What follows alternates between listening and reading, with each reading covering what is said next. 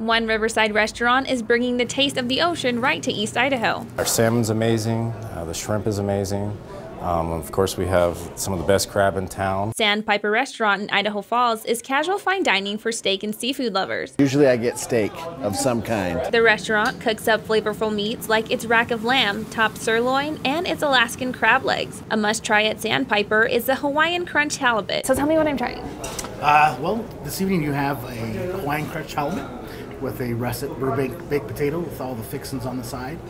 The Hawaiian Crunch halibut has a macadamia breaded crusting, mm-hmm. topped off with a lime chive butter sauce. It's fantastic. Mm. One of the most popular fish.